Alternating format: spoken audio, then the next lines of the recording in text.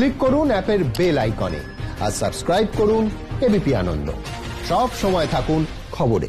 বেসরকারি হাসপাতালে সেখানে কিন্তু মোটের ওপর আউটডোরের পরিষেবা স্বাভাবিক হয়েছে। আমরা সরাসরি চলে যাব মুকুন্দপুর, একটি বেসরকারি হাসপাতালে রয়েছেন আমাদের প্রতিনিধি জিলাম করঞ্জাই জিলাম, সরকারি হাসপাতালের যে পরিষেবার অচল, বেশ খানিকটা পরিষেবা অচল আউটডোরে কিন্তু এই মুহূর্তে আমরির পরিষেবা কীরকম চলছে? রোগীরা, রোগীর পরিজনরা, তারা কি বলছেন?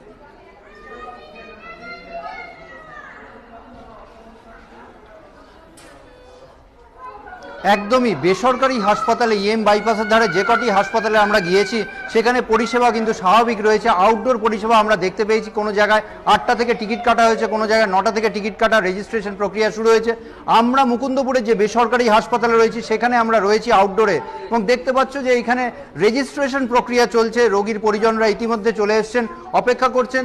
তারা এটা হচ্ছে মেডিসিন ডিপার্টমেন্ট গাইনোকোলজি ডিপার্টমেন্ট শিশু বিভাগ, সব জায়গায় আমরা রোগীদের আস্তে আস্তে আসতে দেখছি। এখানে এগারোটা থেকে চিকিৎসকরা সবাই আসেন এবং রোগী দেখার প্রক্রিয়া শুরু হয়। তবে এখন দেখে বুঝতেই পাওয়া যাচ্ছে যে রোগীরা প্রত্যেকে আসছেন এবং তারা এসে অপেক্ষা করছেন চিকিৎসকদের জন্য এবং এইখানে হাসপাতালের পক্ষ থেকে বলা হচ্ছে যে কোনো চিকিৎসকই তাদের যে অ্যাপয়েন্টমেন্ট সেটা ক্যান্সেল করেনি। এই মুহূর্তে আমাদের সঙ্গে রয়েছেন এইখানে আউটডোর ইনচার্জ যিনি।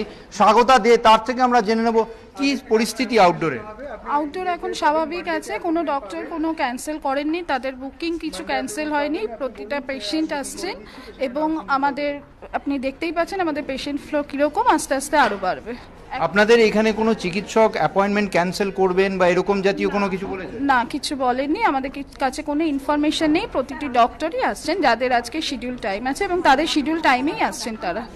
তো যেটা শুনলে যে সব কিছুই স্বাভাবিক রয়েছে চিকিৎসকরা কেউ অ্যাপয়েন্টমেন্ট ক্যান্সেল করবে বলে সেরকম কিছু হাসপাতালকে জানায়নি বলে হাসপাতালের তরফ থেকে দাবি করা হচ্ছে এবং একইভাবে রোগীর পরিজন এবং রোগীরা যারা তারা ইতিমধ্যে আউটডোরে আসছেন তারা অপেক্ষা করছেন রেজিস্ট্রেশন করা হচ্ছে এবং রেজিস্ট্রেশন করার পর তারা চিকিৎসকের পরামর্শ নেওয়ার জন্য চিকিৎসকের চেম্বারের বাইরে অপেক্ষা করছেন। অনেক চেম্বারে চিকিৎসকরা চলেও এসছেন। তাদের সঙ্গে একজনের সঙ্গে কথা বলার চেষ্টা আপনি কোথা থেকে এসেছেন? আমি খড়দর থেকে এসেছি। তো এখানে কি ডাক্তার দেখা হবে বলেছে?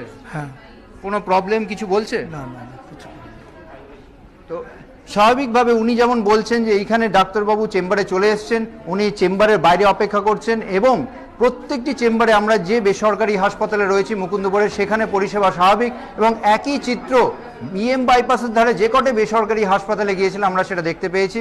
তবে সরকারি হাসপাতালে যেটা পরিষেবার যেরকম সমস্যা সেই সমস্যা এখানে নেই। কুসুমিতা। ধন্যবাদ জিলাম